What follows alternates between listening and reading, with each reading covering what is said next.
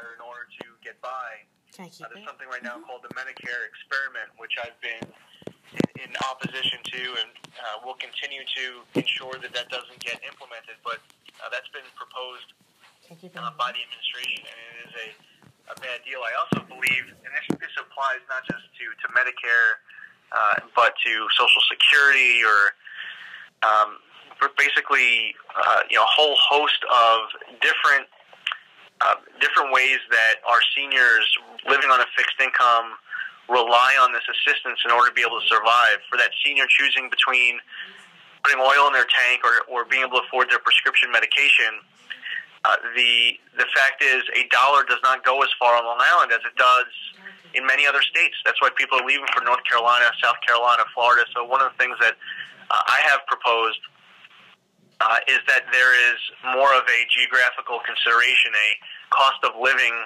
uh, adjustment made. Uh, now, this is quite the uh, the battle, and one that um, you know that there are plenty of people in many other places would obviously oppose it. Uh, but just the fact is, a dollar doesn't go as far on Long Island as it does elsewhere, and that's one of the reasons why uh, I would uh, why I am supportive of having that cost of living adjustment. And uh, I appreciate the, uh, the call uh, tonight, Donna. Um, we have many other callers on, and um, we're going to just a reminder for those joining late. Just two quick things. If you have any questions, dial star three. And the um, and that's if you have any question to ask, dial star three. And also, I just want to let you know this is a, a governmental telephone town hall tonight. We can only focus on issues we're unable to get involved in uh, the campaign and politics and the elections.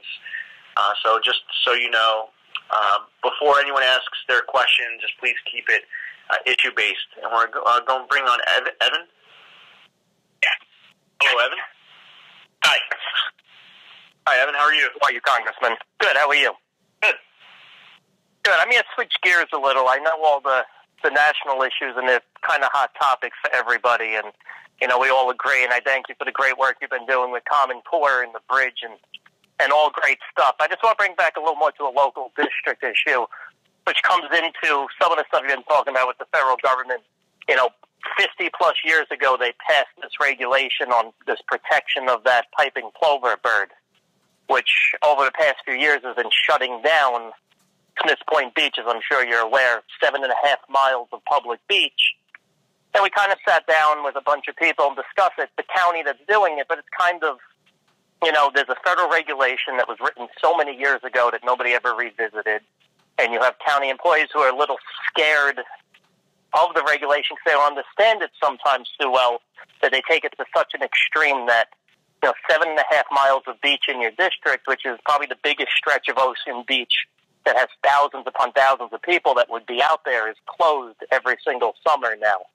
You know, and what, what can we do to try to you know, the federal government's so big that they pass some of these things, and sometimes they don't realize the local impact to people on bills that they pass. So I know this predates you by quite a bit, but you know, how can we somehow? You know, there's got to be a way. I, I believe in protecting the birds and protecting animals too, but you know, they documented two nests on seven and a half miles of beach, and the whole beach was closed for the summer. There's got to be a give and take so the people can have recreation and the birds could live. Well, I, I really appreciate your question, Evan, and uh, I, I live not too far from uh, the beach myself. I actually have a lot of great memories growing up going to the outer beach at Smith Point, uh, which has been closed right towards the end of the reproductive season. There were uh, there were new nests that, that popped up. Right now, you can get uh, up to 100 vehicles uh, up to the first uh, location where you have one piping plover and one colony of tern chicks. Uh, if that one colony of tern chicks and that one piping plover weren't there, you could then fit 450 cars. The beach would be open. Uh, that is a mile and a half of beach that would open up in that case.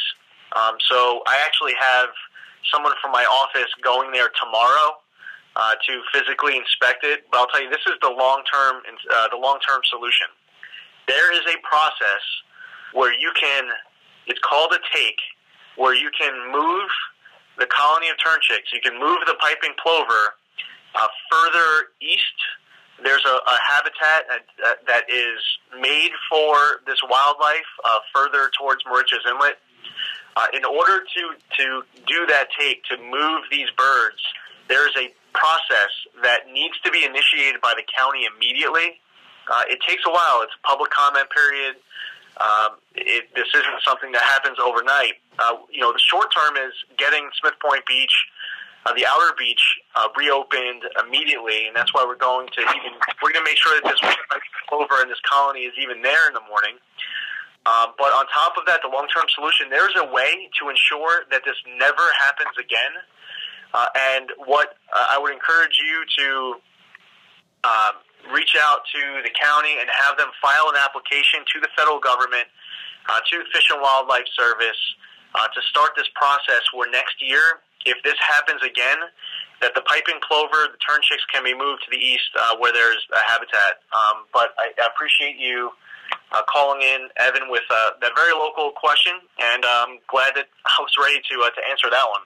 Uh, now we're gonna we have throughout this call we have different poll questions, and it gives you an opportunity to participate. Let me know what you're thinking, and I'll share the poll results. Uh, the first question is whether or not you feel that the country is heading in the right direction. Do you feel that the country is heading in the right direction? Press 1 for yes, press 2 for no. And after this call, uh, after this next question, we'll let you all know uh, what the results were. Do you feel like the, co- the country is heading in the right direction? Press, press 1 for yes, press 2 for no. And uh, we'll bring in our uh, next question is coming from John. Hello? Hello, John? Hi, Congressman. Yeah, hi, how are you? Uh, n- number one, I'd like to congratulate you on this type of uh, reaching out to the public. I think that's a great thing, and I thank you for doing that. Yeah, thank you for uh, participating. I do, however, have three questions for you. Number one, I would like to find out your opinion on immigration. Number two, the economy. And Oh, excuse me. And, uh, number three, of security of this country. Well, great. Uh, those are three really important questions. So, you know, three of arguably the, the most important questions. Depends who you talk to. Uh, a lot of people have different priorities, but those are big ones. Um, with regards to immigration, over the course of the last decade, we have had a Republican president and a Democratic president. We've had a Republican Congress, a Democratic Congress, and a mix of Republicans and Democrats sharing control of uh, the chambers of Congress. We've had every combination of everything that I just mentioned, and over the course of the last decade, we have not seen anything substantial, meaningful happen as it relates to immigration. So much of this has been boiled down to sound bites. Uh, it has, uh, you know, unfortunately, the most controversial elements of this debate have held hostage uh, all of the other components of the issue that people agree with. Uh, there are many components of solving challenges related to immigration where I have found the most liberal Democrat and the most conservative Republican are in agreement. Uh, but the problem is, is that there are some really controversial areas of some of the proposals out there, and because of that debate over the most con- controversial items that won't pass, uh, nothing's getting done. Uh, and the first step has to be passing legislation dealing with border security and interior enforcement. Uh, when you have a leak in your home, the first thing you do is you turn off the faucet. You don't take out a mop. And if we want to do anything with the, whether it's 11, 12, 20 million people who are here in this country, uh, we, we need to uh, tight, we need to tackle border security and interior enforcement. Now, when you go beyond that, there are other aspects of solving immigration that, again, we have that, that are non-controversial that people across the ideological, ideological spectrum all across our country agree with.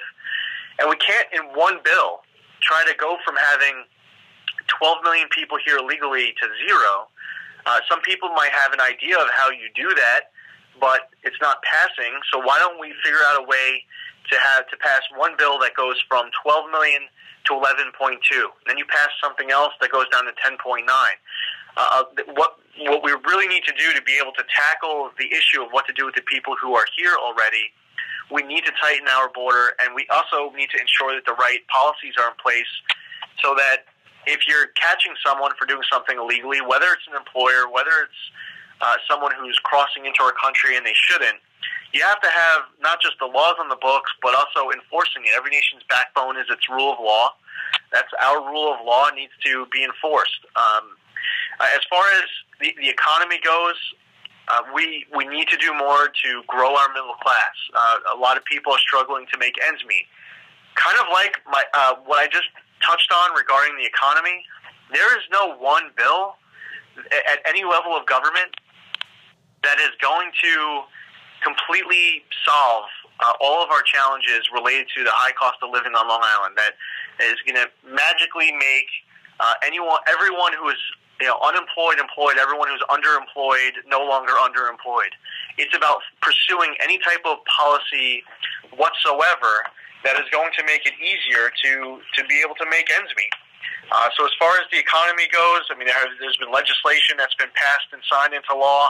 Uh, earlier, we are talking about the Trade Promotion Authority, the Trade Trans-Pacific Partnership, negotiating deals that bring back jobs to our country. Uh, it's about passing legislation uh, that boosts Made in America products. This past December, we passed the PATH Act, uh, Protecting Americans from Tax Hike, Hikes Act, that was signed into law. 20 different tax provisions to assist Long Island businesses and families passed. Uh, policies to reduce healthcare costs. I'm just giving these as an example, uh, and I could go into a whole lot more detail, but I know we have a lot of other questions. So, uh, very quickly, uh, touching on national security, we need to strengthen our relationships with our friends. We need to get smarter about treating our enemies as our enemies. Understanding our enemies do not respect weakness, they only respect strength. Right now, we are being tested by our enemies, and they are watching each other test us. Uh, whether it is Iran, Russia, China, North Korea, North Korea turns uh, a nuclear reactor on, threatens the United States as they do it. Just today, yesterday actually, Iran, after executing uh, the Iranian scientists. They called us their hostile number one enemy, the great Satan. They're all testing us and they're watching each other test us. Now, when I say we can't be silent, I'm not saying we can't be silent because I want war. I'm saying we can't be silent because that is how you prevent it. They will continue to test us uh, until we draw red lines that we're willing to enforce, and we also can't draw red lines that we're that we're going to cross. If you're going to do that, then you don't draw the red line at all. Uh, I am. Uh, I have been opposed to the idea of bringing in Syrian refugees to the United States until unless they're properly vetted. I believe that the great humanitarian victory that we could deliver for those Syrian refugees is to tackle ISIS, is to eliminate the threats that are forcing them to leave their home country in the first place. Um, when Assad goes, Assad can't be re- replaced by another Assad. Iran is financing Hezbollah which is currently operating in Syria, financing Assad in Syria, Hamas. Uh, so there are a lot of different threats there in Syria. Um, and the Syrian refugees, the big problem is, is because it's been so destabilized for so long, there really isn't documentation in their country uh, for any of these people coming over. There, it, it's impossible to thoroughly vet them enough to know that an individual is not a security risk. And if you allow 100 people into our country, but only one's going to carry out a terrorist attack, unfortunately, in the best interest of American security, we can't allow 100 people in. Well, anyway, those are, uh, I tried to get to three really important questions. Um, it's hard to do all three of those justice, uh, all in one particular question.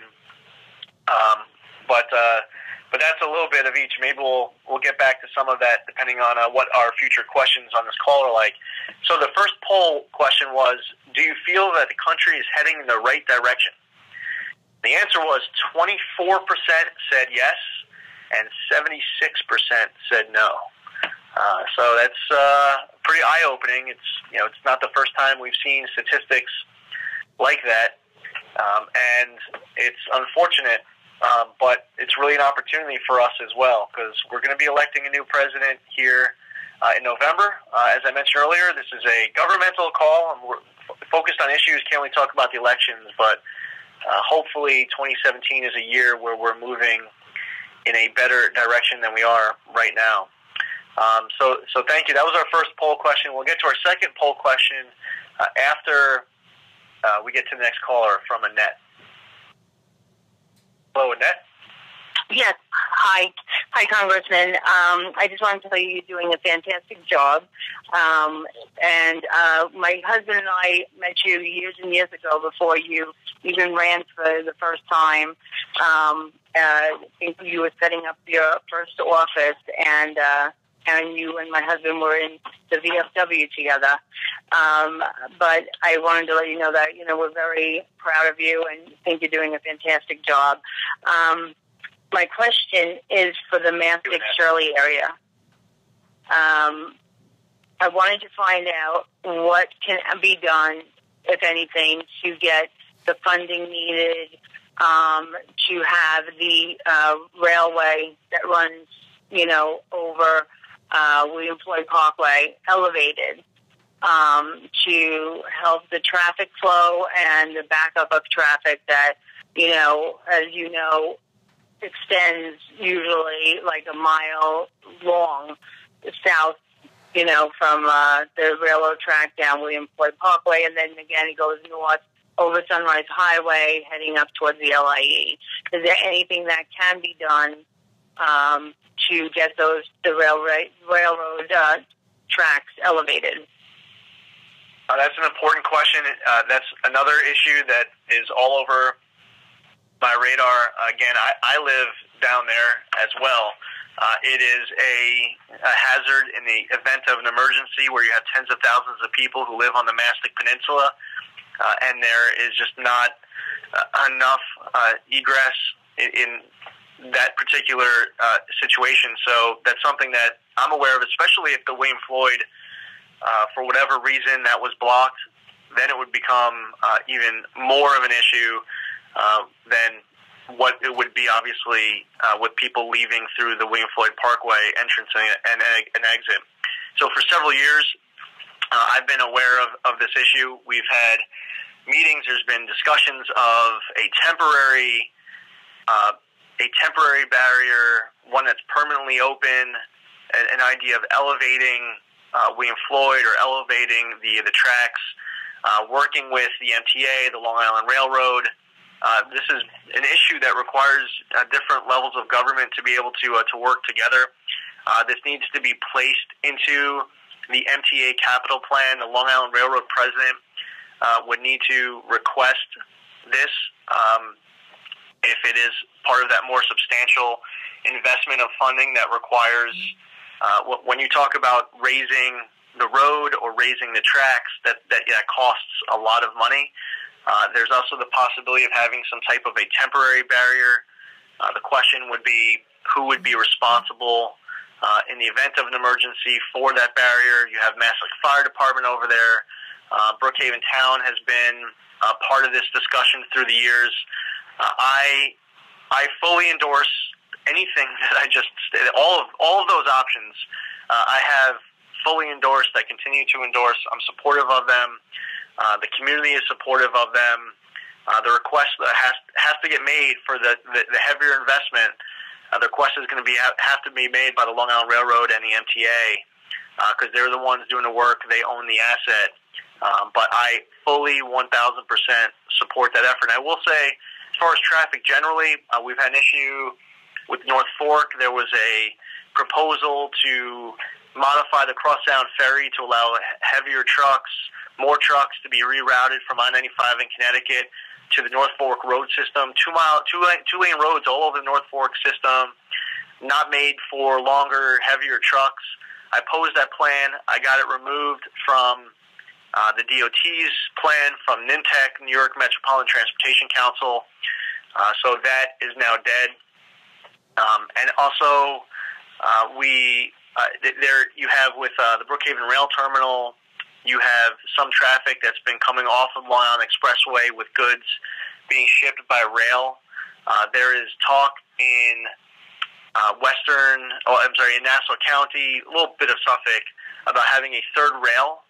Uh, that would help, um, as well as the second track, which is currently being built from Ronkonkoma to Farmingdale. Uh, so there are all these different uh, assets. Um, I'm sorry, uh, investments being made in that in that rail asset all throughout Long Island, uh, which will also help with alleviating some of the traffic that we see on our uh, east to west highways. So I just want to touch on some of the other stuff. Um, but I thank you for the call, Annette, and uh, we're going to ask the next question. Our next poll question is: What do you feel is the most important issue facing our country? What do you feel is the most important issue facing our country? Press one for protecting America's security at home and abroad. Two, helping grow our economy. Three, supporting our veterans and first responders. Four, improving the quality of education. Five, repairing our nation's infrastructure. Six, improving health care in America. Seven, safeguarding our environment. Or eight, other. What do you feel is the most important issue facing our country? Press 1 for protecting America's security at home and abroad. 2. Helping grow our economy. 3. Supporting our veterans and first responders. Press uh, 4 for improving the quality of education. Press 5 for repairing our nation's infrastructure. Press 6 for improving health care in America. Press 7 for safeguarding our environment. Or press 8 for other. After we get to the next question, we'll let everyone know what the answer was uh, to that, that poll question. Thank you all for participating. I just want to give you some contact information for anyone who wants to reach out to our, our district office at any time. If you have any issue with a federal agency, with the federal government, you want to weigh in on a particular issue, please reach out to us. Um, our, we have an office in Patchogue, 31 Oak Street, Suite 20. Our phone number there is area code 631-289-1097. Our East End address in Riverhead is 30 West Main Street, Suite 201. The office hours there are Tuesday, Wednesday, and Thursday from 10 a.m. to 2 p.m. The East End phone number is 631 209 4235. 631 209 4235. Uh, my website is zeldin.house.gov. You can sign up for emails. We do monthly, uh, every, at the end of every month, we give an update on what we've been working on. If you want to sign up, our Facebook, you can visit me at Congressman Lee Zeldin. We're on Twitter at REP Lee Zeldin. And also on my DC address, 1517 Longworth House Office Building, Washington, our DC phone number is 202 225 3826. So, um, our next uh, question is coming in from Valerie. Hello, Valerie. Oh, hi. Hi. I'm thinking ahead in time. Uh, people seem to be moving to cities, Shanghai, Beijing. This seems to be the trend, right? So, since we're such a close extension of New York City, why aren't we thinking in terms of, you know, having some kind of a cap on population, um, bringing in infrastructure that really works, and like the woman was saying about the train, um, I'm not sure what that guy was talking about who wanted to open up the beaches. I mean, one of the reasons why we have the plovers on the beach is to also start to stop the erosion and the amount of people just flocking and not picking up their litter, leaving their shit everywhere. I mean, it's unbelievable what's going on. I live in Southampton. I can't believe what has happened over the past five to ten years out here. There's litter everywhere. People are living in the woods. I mean, we need to think a little bigger. I mean, just patching band-aids here and there, an overall view seems to be the way to go, no? Well, I, I appreciate. Uh, there are a few different points in there, and a lot uh, you of know, points, first, a lot of yeah, points. a lot of points. And, right, I, yeah. and I'm not expecting you to answer them all, but yeah. Well, you know the. Uh, and I'll tell you one thing. I mean, our, the first congressional district is certainly quite diverse. When I'm down in Washington D.C., people ask me, "Where's the first congressional district of New York?" The easiest way for me to orient uh, people to them is I say, "This is a district that has the Hamptons in it," and they'll say, "Oh yeah, I've been there or heard of it." And then once, Yeah, but it's more than that. Listen, Suffolk well, no, I grew up in Port Jefferson like, you know, 50 years ago. You know, so, I mean, Right. I have a love for the entire island. Suffolk Yeah, County has been going down the shitter for years, quite frankly. Yeah, so what, once, one, and I, I'm just saying, like, you know, once I will make that opening statement, I'll then explain that I live in a small town uh, just west of the Hamptons with a population just under 500,000 people called Brookhaven. And then they'll tell people about, uh, people don't believe how much agriculture that we have on the North Fork. Um, we have some on the South Fork too. But uh, it's a very diverse district. As far as the outer beach issue in Smith Point, uh, I, I mean, I'm talking about going back to when I was a kid. Uh, there is a there's a small stretch uh, that in, in 1,500 cars would be accessing uh, the outer beach every single yeah, year. Lee, Lee, Lee, I know. We, we, well, a lot of us know because a lot of us have it left. What I'm talking about is looking at an overall view. We can't, I mean, just, to, we all know what it is. I mean, the problems, we all know what the problems are. What's the answer to preserving Long Island? And since we are so close to New York, we, this is a valuable, valuable place. Yeah, so the- why are we devaluing it with uh, with allowing such dist- such uh, it, it, you know it's not kept up, it's not cared for. There's not an overall plan. I mean, look, Yeah. have you been on the Long Island Railroad? Yeah. I mean, you Yeah. go on the Long Island Railroad, it's filthy. The sides of the railroad are filthy with garbage. It's unbelievable. I mean, I understand it's difficult to take care of things like that. But looking at a picture of like if we have more people out here, which is the inevitable apparently, I mean, we need to really start looking about not what was, but what we can do in the future. Yeah. Well, I- you know, I wanted to. I mean, obviously, the, the litter piece. I mean, it doesn't matter what level of government um, you talk to, uh, or whether it's just a conversation that you're having with family around the table. Uh, I've, I, I gotta say, I've never quite met anyone who is pro litter. Um, you know, some people actually contribute to it though, and they just uh, they, they. It seems like they don't care. Um, but when you actually talk about it as an issue, it's just it's unnecessary and uh, it's just a quality of life issue. It was a big deal in, in New York City in rebuilding that city uh, in the 90s, just the quality of life components of it um, to make the experience of living there or visiting there better. that was that was part of it. Uh, from the conservation piece, there were a few points I wanted to uh, to mention quickly. Um, and by the way, just to, to clarify uh, something earlier, when I was talking about the outer beach at Smith Point, um, the the long term solution for next year um, to make sure that what we see this year uh, never happens again is a, an application that is made from it's a it's a request for a permit from the county to the feds to allow a taking. Um, but I, I, I had a note passed to me that uh, somebody had a follow up question on that, so I just want to touch on that real quickly. But a few things on conservation. Uh, one is I've gotten two legislative proposals passed in the House to save Plum Island, to ensure that Plum Island is uh, being used for continued research mission, uh, preservation, public access. The current law is to sell Plum Island to the highest bidder, uh, but there are good paying jobs there. I'd like to see good paying jobs continue there by continuing our research mission and preserving the rest of the island. Uh, there is a plan to dump Connecticut dredge waste spoils into the Long Island Sound. Uh, I, uh, as of right now, the EPA is scheduled to let the eastern dump sites expire on December 23rd. Uh, I'm in favor of letting those eastern dump sites expire. As far as the western dump sites, uh, a couple weeks back, there was a uh, announcement by the EPA that they were going to extend the western dump sites for 30 years.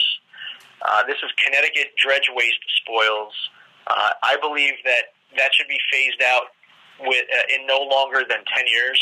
Uh, that's that's my position on the uh, the western dump sites. Um, we uh, extended the Land and Water Conservation Fund, uh, investing National Estuary Program. Part of what we passed last December is a permanent land conservation uh, credit. It's it was temporary in the past, making it permanent. Uh, working with the Peconic Land Trust and others interested in order to uh, preserve some of our eastern Long Island land. Uh, but that certainly touches a few a few different aspects. I'm, I, I don't want to get into too many details because we have a lot of questions. And we'll try to get to as many as possible. But those are three quick thoughts that come to mind as far as the conservation piece. And uh, I really appreciate the call, Valerie, and um, thank you for participating. So the question that we had just asked was, what do you feel is the most important issue facing our country? 49% said protecting America's security at home and abroad. 14% said helping grow our economy. 8% repairing our nation's infrastructure, 7% improving healthcare in America, 6% supporting our veterans and first responders, 6% safeguarding our environment, and then 6% for other, and then 4% for improving the quality of education. So thank you to everyone who participated in that poll. And we'll have another one in a minute. Again, anyone have any questions, dial star three. We have so many uh, questions here, and um, we're going to bring Nick on. Hello, Nick. Hey, Lee, how are you today? I'm doing well. How are you? Very well. First off, let me preface my remarks by saying thank you for your service to our country in the military and for also serving as a representative in our government. So thank you. Oh, thank you. Thanks for thank you. I really appreciate it. It's an honor to serve. Um, and it's it's something I think it's important. The reason I'm calling is I'm a school teacher, and my question is two tiered. It has to do with student loans. I teach at a high school. I also teach at Suffolk County Community College as an adjunct. And I've been paying off my student loans now for over 20 years. I've only been employed as a teacher, though, for 16. And I just don't see any relief in terms of paying off my student loans.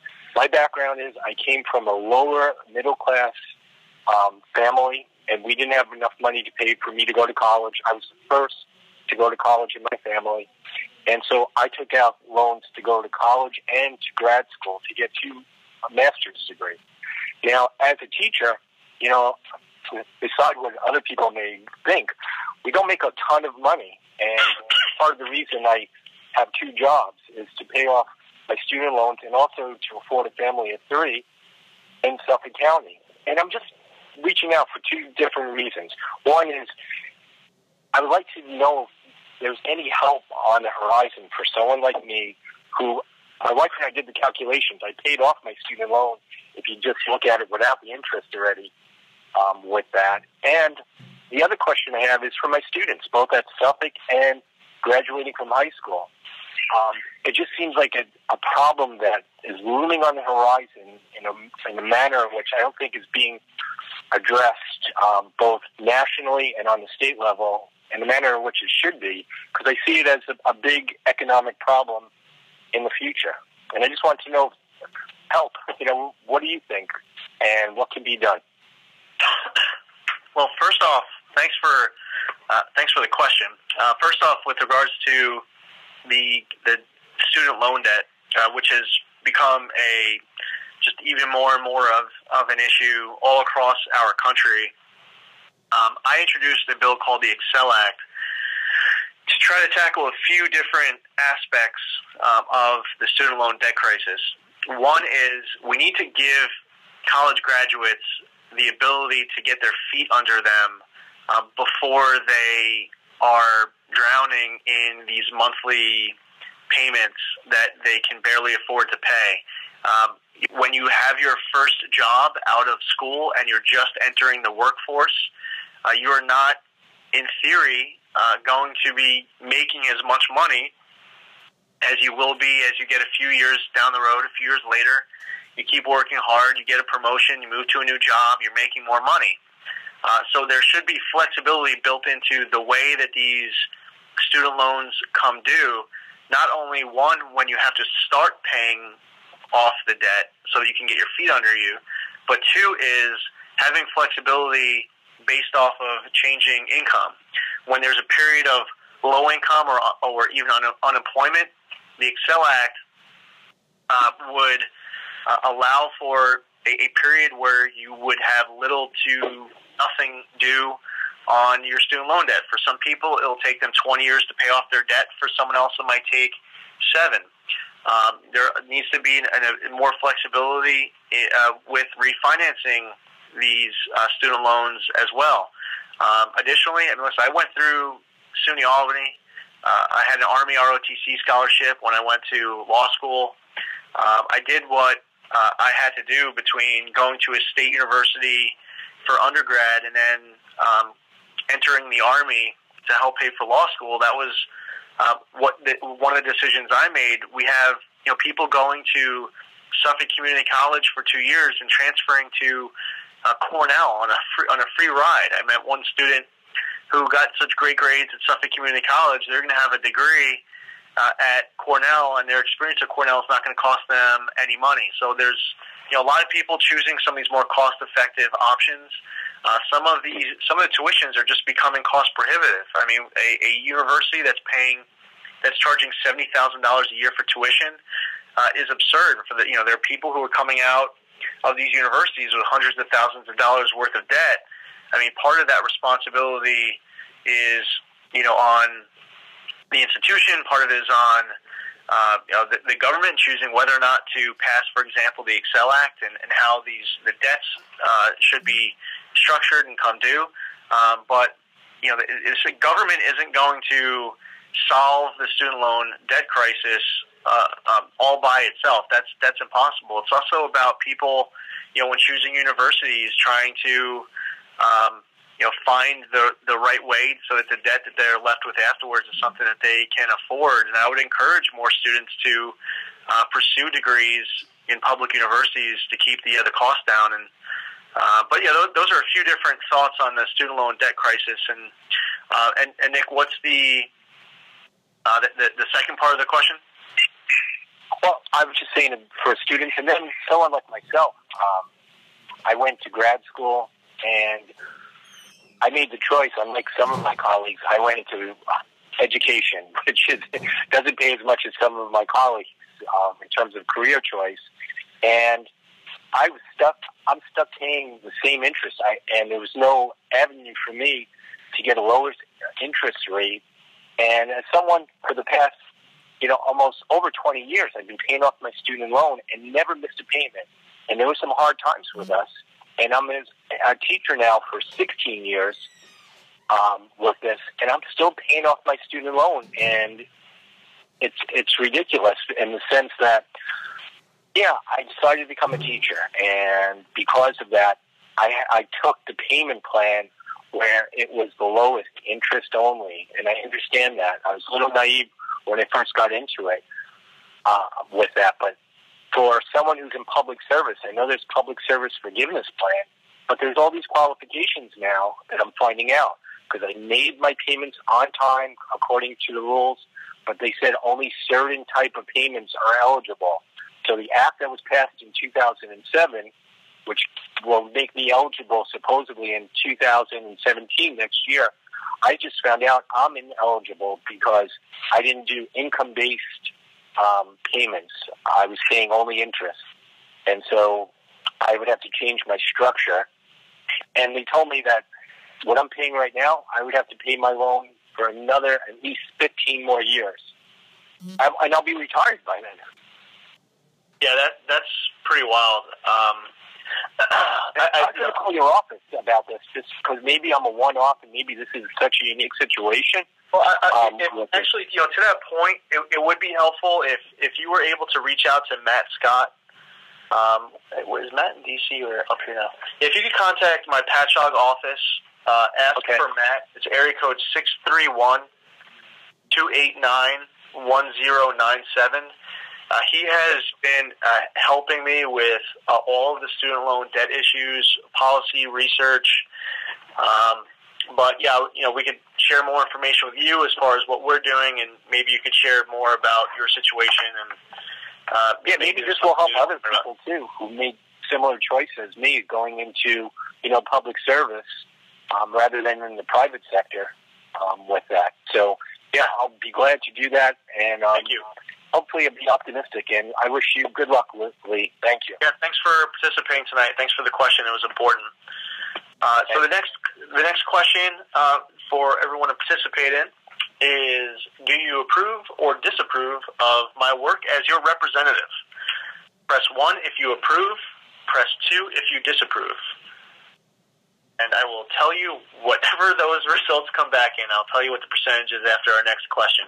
Do you approve of my work as your representative? Press one if you approve, and press two if you disapprove.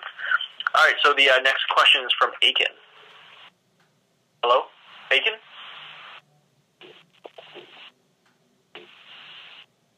Um, Mr. Is Mr. Acton? Hello. All right, we tried that one. Didn't work. Again, any questions, just dial, uh, press star three. We'll be able to bring you on, although we do have many different questions uh, here in the, uh, the queue. And um, again, yeah, any questions, just dial star three. And uh, we're bringing on Ed. Hello, Ed. Uh, yeah, sir. I dittos to that last caller. Was very, uh, it was uh, interesting. I'm a little older. Uh, my question's dealing with the uh, hard drugs, the uh, selling and distribution of drugs, and, and the drugs that are killing our millennials, uh, whether they're poor, uh, middle class, or they're in MBAs, but the drugs are killing us. And I see nothing but charitable work going into paying for these safe houses and hospice and everything else. Why don't we get more money into these people to help our drug situation, which is hurting our country's morality? I'm I'm really happy you brought this up. I actually just went to a a wake uh, two days back for a young man. Actually, just uh, three days back, a young man, 26 years old, um, a son of a a friend, and uh, just terribly tragic. I'm I'm kind of uh, my stomach's churning just as I as I say it. Uh, this is an issue that uh, I would imagine with your the way you asked your question that you're familiar. Obviously, it's not just a Long Island issue. Uh, I see it from colleagues in states all across the country. Uh, although in many cases, Suffolk County, Long Island has been the epicenter uh, of the stats that we're that we're receiving in from all across the uh, the state as well as the country. Uh, the heroin and opioid abuse crisis is one that uh, needs to be tackled from several different components, different uh, aspects, different levels of government, local communities. The Congress just passed, and the President just signed something called the Comprehensive Addiction and Recovery Act. Uh, I pushed hard for this legislation, $8.3 billion legislation to tackle the heroin and opioid abuse crisis. Um, this I did multiple press conferences, just trying to build additional support for it, and I was so happy to see that this thing actually got across the finish line and signed um, by the president. Uh, when when, attack, when tackling this issue from multiple angles, we have the prevention piece, the enforcement piece, the education piece. My daughters uh, turn ten next uh, month. Uh, this is extra personal for me as it is, I'm sure, to you for asking the uh, the question. And I imagine this is personal for every person who's on this call. Um, I have had meetings with uh, everyone from uh, the the FBI the federal level to New York State troopers to Suffolk County Police Department, police commissioner. Um, I've met with schools, first responders, um, those in recovery, um, unfortunately, some parents who have lost loved ones, just trying to hear what everyone has to say. Part of the request comes in and it has to do with uh, our borders and the fact that some of these drugs are able to make it into our country in the first place and not having the right uh, tools, right laws to be able to uh, crack down on what uh, our DEA agents um, are seeing and other Department of Justice. It's a piece with Department of Justice, DEA. There's that component of it. There's the most local component of it, access to Narcan. Narcan can reverse the effects of a heroin overdose within minutes.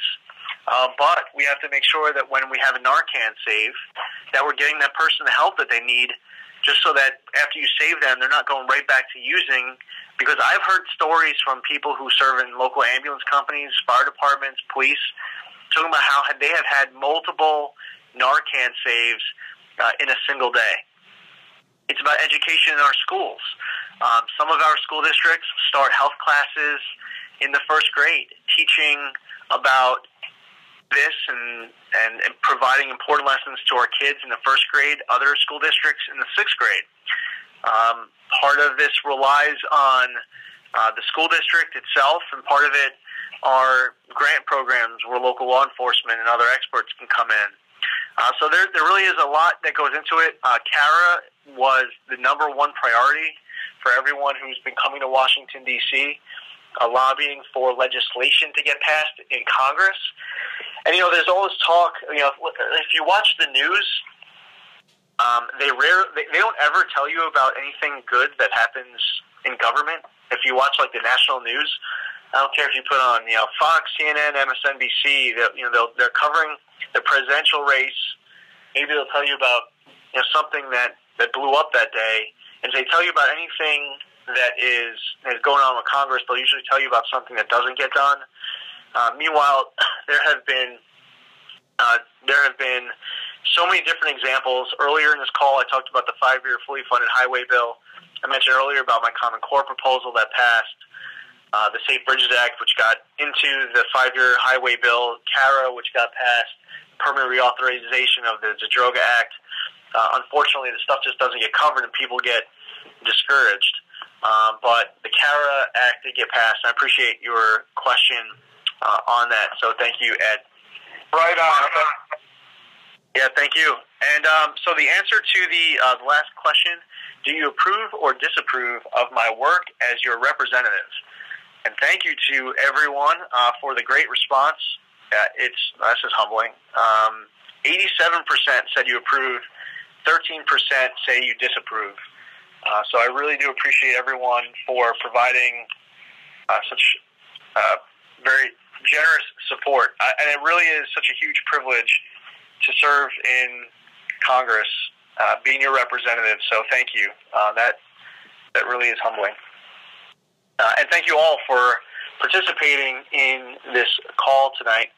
Um, and we see a lot of questions. If you have any questions, you could dial star three. And the next caller is Jessica.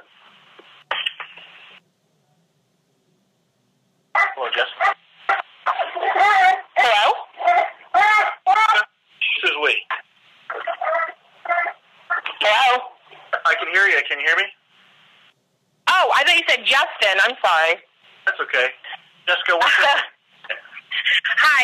Um, I guess so. This sort of branches off on on what the gentleman who called before um, talked about. Um, you know, I'm, I was aware of you know all the the money that was being given to New York State, I guess Cuomo, whoever, um, uh, allowed uh, okayed a lot of money to be um, used for substance abuse treatment and prevention, like you said. Um, I was just wondering, you know, how, um, you know, moving a little bit past that. I'm sorry, I'm so nervous. Um, uh, what can be done um, to sort of take the because right now it feels like, and, and I have personal experience with this, unfortunately, unfortunately, I guess. But um, you know, what can be done to sort of take the power away from the insurance companies um, and give it back to the professionals, the healthcare professionals? Because right now, it's, the insurance companies sort of dictate, you know, the length of a stay.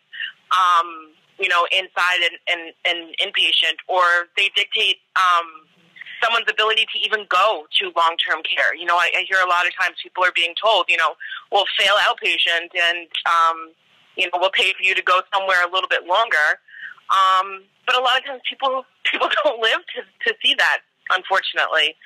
Um, so I didn't know if there's anything that, that you know, a, a politician, a congressman could do um, to sort of give give the power of care back to the people who actually provide care. Um, Yeah, it's a so it's a great question, and I, I served for four years in the state senate before serving these past 19 months in Congress, and I've gotten a little bit of perspective on this particular question from the state level, and a little bit of a perspective on it from the federal level. Uh, what I saw in Albany was a very powerful interest group with the insurance companies. And when there was a good legislative proposal where someone would file a bill to help solve an issue like this, a lot of these great solutions would wouldn't even make it out of committee uh, because the insurance lobby was so powerful. Um, the issues uh, as it relates to uh, insurance in Washington has been a, a little bit uh, different. Um, you know, we, we have a little bit with oh, actually a lot of it uh, that I've been dealing with more related to Obamacare, the insurance exchanges, the co-ops that have been created, the markets, the reimbursements, IPAB. There's there's a lot as it relates to healthcare under Obamacare uh, with the insurance companies. But uh, more specific with your question, I saw a little bit more of it when I was up in Albany, and um, you know, I, I just I, I believe that uh, it is critically important to allow people the right time to to detox, to go through rehab. Um, if you don't give them enough time to get something out of their system, then uh, that is going to be an issue where they're going to go right back to using. If you get it out of their system, but you don't give them the help that they need, they'll go back to using. The best way to reduce the recidivism rate uh, is to ensure that people are getting the help that they need. And insurance companies, um, unfortunately, are denying people enough time uh, to, to get that particular treatment inpatient. Um, outpatient services, a little bit more flexibility, but uh, still not enough there. Um, but a lot of this uh, I experienced personally during my time as a New York State legislator, and and that is somewhere where you know I think just think the state with New Yorkers need to do a better job. We all need to do a better job, whether it's elected officials, it's the public, it's the media, all figuring out how to get good proposals through committee, passed by the state legislature, signed by the uh, the governor uh, to provide that more flexibility that we're looking for. And I've seen some victories along the way. Um, with regards to insurance, specifically autism, while I was in uh, Albany, that I supported bipartisan support. That was the only way we got it done. Uh, but I appreciate the, the question, very important question uh, that needs to be tackled. And uh, the last poll question of the night: If you would like to subscribe for my e-newsletter to stay updated on my work in Congress, please press one. If you'd like to subscribe for my email newsletter to stay updated on my work in Congress, uh, please press 1. Uh, again, some of my contact information, if you want to call my office, uh, our office in Patchogue is 631 289 1097. In Riverhead, 631 209 4235. I'm on Twitter, Facebook. On my website is zeldin.house.gov.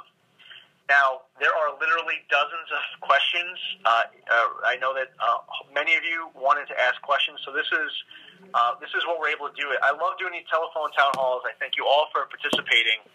If you haven't been able to ask your question yet, what you're able to do at the end of this call is leave a message, and then we're able to get back to every single one of you on your call. So I would please ask you at the end of this call right now, please leave a message and we can get back to everyone's question.